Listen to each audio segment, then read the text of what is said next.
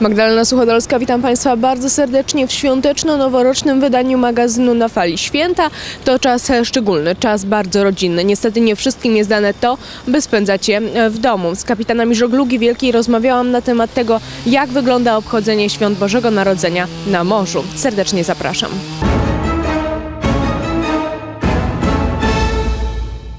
Wigilia na morzu różnie wygląda, zależny od załogi. E, Jeżeli się ma całą załogę polską, no to wszystko odbywa się według tradycji polskiej. Kucharz gotuje tych 12 potraw, tak jak jest w zwyczaju wigilijnym e, w Polsce na lądzie i, i są też drobne prezenty, jeden drugiemu coś tam y, drobnego prezentuje. No jest wspólna mm, wieczerza wigilijna em, z, y, z, ze śpiewaniem kolęd i łamaniem się opłatka. Z tym, że y, w zależności od tego, gdzie się jest, na jakim obszarze. Bo jeżeli w tym wieczerze wigilijnym przypada jak raz e, sztorm, to trochę jest nie, nie, nie, nie, niewygodne. Ale przeważnie ja nie pamiętam takiej wigilii, żeby była jakaś e, sztormowa pogoda. Na ogół jest e, znośnie. Atmosfera, jaka panuje na statku w czasie Wigilii, w znacznym stopniu zależy od kapitana i kucharza. Żadne zabiegi jednak nie są w stanie zastąpić rodzinnych świąt w domu. Ze świętami to jest tak trudno. To jest taki czas y, osobisty i w sumie bardzo smutny na statku. To nie jest czas radości. I y, człowiek stara się wyprzeć z pamięci smutne, smutne chwile, także y, tak precyzyjnie opowiedzieć, że na przykład jakieś święta tak radośnie, wesoło, to nie, nie mogę tak powiedzieć. Wszystkie były smutne i tak chyba odbierali wszyscy członkowie załogi, bo z tego, co się zorientowałem, tak jak spędzaliśmy święta, a przeważnie one są w morzu. Wbrew pozorom, mimo że y, dlaczego? Y, armatorzy z przyczyn ekonomicznych starają się, żeby statek w czasie świąt pływał. Bo wiedzą, że w porcie to jest czas martwy. Wtedy żadne prace przeładunkowe nie są prowadzone. Statek stałby, y, nie zarabiałby pieniędzy, a głównie przecież o to chodzi, żeby statek zarabiał, pracował na siebie y, i dla armatora. W związku z tym tak wszystko było organizowane, żeby w czasie świąt statek był w morzu. Także większość świąt ja spędziłem w morzu. Y, Tak jak tu kolega wspomniał, y, też nie było jakichś takich ekstremalnych warunków pogodowych złych. Zawsze pogody raczej były dobre. Nie wiem, czy to takie zrządzenie opatrzności. W święta przeważnie była pogoda dobra, a średnie warunki nie są żadnym utrudnieniem dla marynarzy. To spędzało się normalnie, z tym, że tak jak wspomniałem, są to smutne święta na statku. To nie są święta radosne. Każdy, yy, załoga owszem, kolacja wigilijna jest bardzo uroczysta, przygotowana. Jak yy, statek jest w eksploatacji, to część załogi jest w tym czasie w pracy, po prostu wykonuje swoje obowiązki. Większość przychodzi yy, do mesy, spożywamy posiłek, jakieś życzenia, ale to, co na pewno można zauważyć, wszyscy bardzo szybko znikają nie ma jakichś takich, ja się nie spotkałem w każdym bądź razie z jakimś takim celebrowaniem świąt, jakimś śpiewaniem długo, długo kolęd, jakimiś rozmowami przy stole. Yy, Czegoś takiego ja w święta nie spotkałem. Każdy jednak ucieka do swojej kabiny i stara się spędzić chociaż w myślach te święta z rodziną. Sposób obchodzenia świąt na statku w znacznej mierze zależy od tego, jakiej narodowości i wyznania jest załoga. Kiedyś jak byłem pierwszym oficerem, miałem Anglika za kapitana, to postawił po jednym piwie, przyniósł kucharz dużą rybę i potem zawołali kucharza i kapitan podziękował, że taką wspaniałą wigilię zrobił.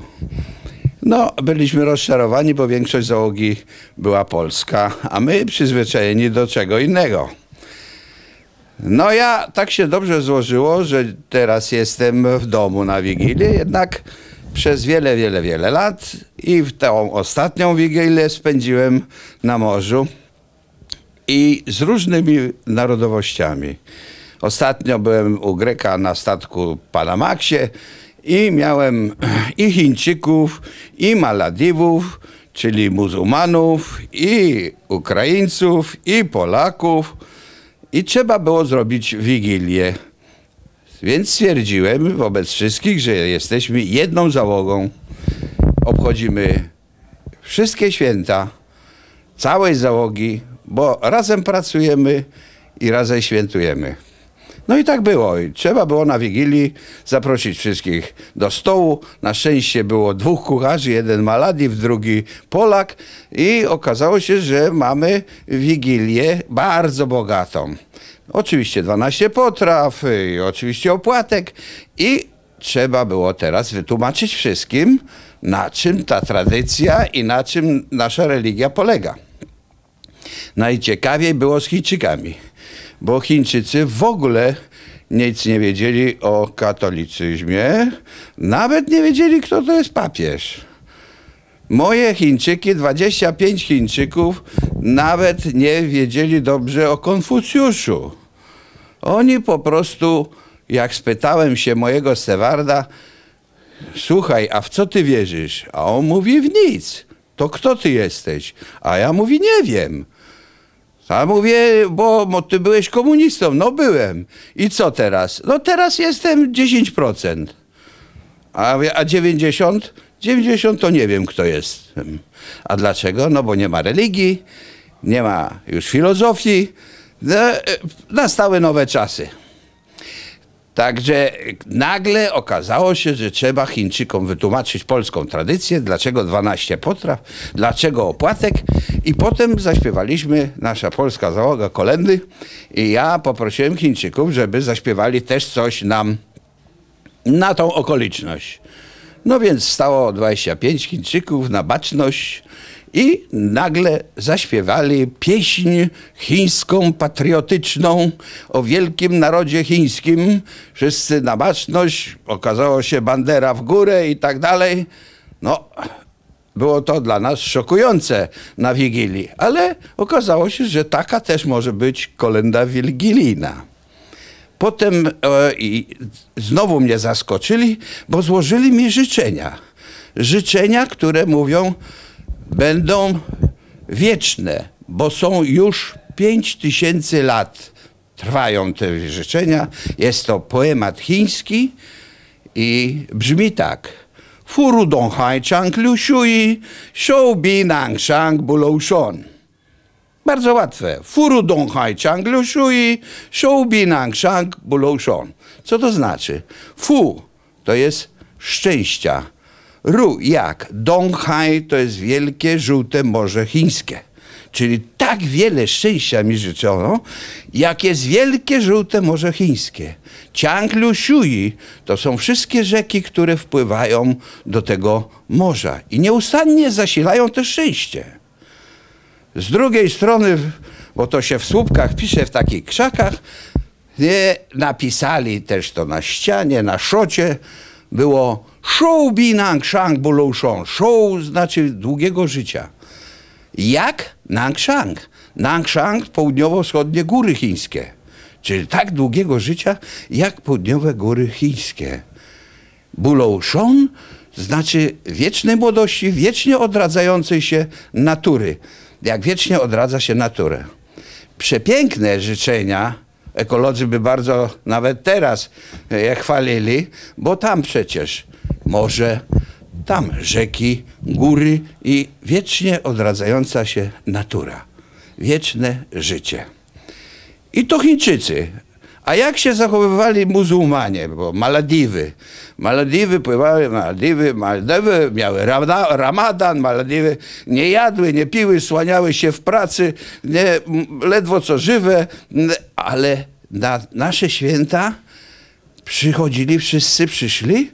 Kucharz malediwski przygotował specjalne potrawy ich, nasz 12.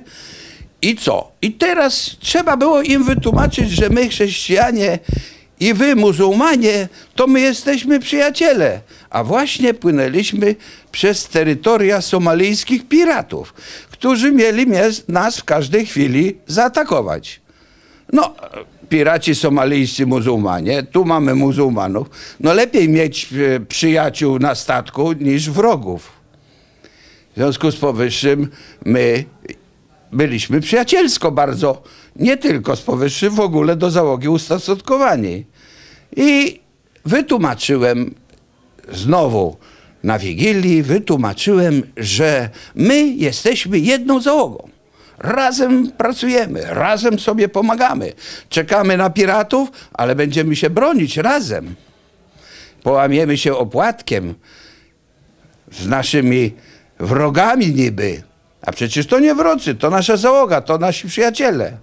Połamie się opłatkiem, złożymy sobie życzenia i wszyscy bardzo się tym cieszyli. To w gruncie rzeczy bardzo scementowało załogę. Ta załoga stała się całkiem inna. Oni do nas przedtem podchodzili y, z dystansem, bo to nie biały człowiek to rasista. Nie? A wręcz przeciwnie, my uważamy, że to właśnie oni są terroryści. Nie? No i tak to spędzaliśmy y, na święta y, na morzu w, w różnorakich y, okolicznościach i z różnymi załogami. Zdziwiło mnie na przykład, że moi Ukraińcy, pierwszy mechanik i drugi mechanik, nie wiedzieli co to opłatek. Pierwszy mechanik poprosił mnie, czy może zabrać mój opłatek do domu na Ukrainę, pokazać, bo tam nikt nie wie, co to jest opłatek, dlaczego się dzielimy. Wszystkim marynarzom, tym, którzy są na wodzie i tym, którzy są na lądzie, składamy serdeczne życzenia, do których dołącza się Klub Kapitanów Żeglugi Wielkiej w Szczecinie.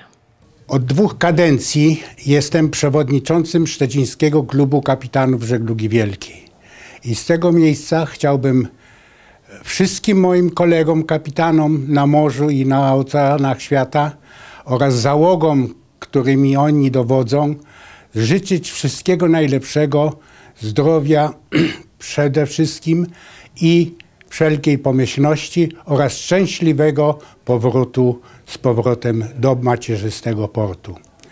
E, Społeczeństwu polskiemu chciałbym życzyć, żeby nasza polska biało-czerwona bandera znowu załopotała na e, rufowych flagsztokach naszych polskich statków. Wszystkiego, wszystkiego najlepszego. Życia pomyślnego dla widzów Pomeranii i dla wszystkich marynarzy świata. Ahoj wam! Życzy kapitan Grycner Włodzimierz.